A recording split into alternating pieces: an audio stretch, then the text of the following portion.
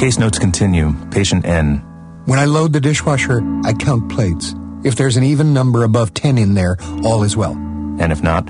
I add the correct number of clean ones to make it right. Right. Because anything else would disturb the order of the world.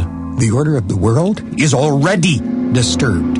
I disturbed it last summer. I disturbed it 10 months ago when I went to Ackerman's Field. Only I didn't understand then. Not then. I can't fix it, but I might be able to do that. I have been doing it.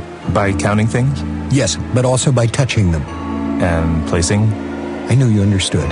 And these symptoms? They come in clusters. There are three of these clusters. They poke out of me, the same part of me, like rocks. Like the rocks in that field.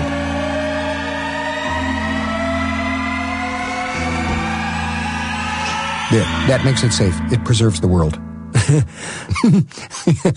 For now.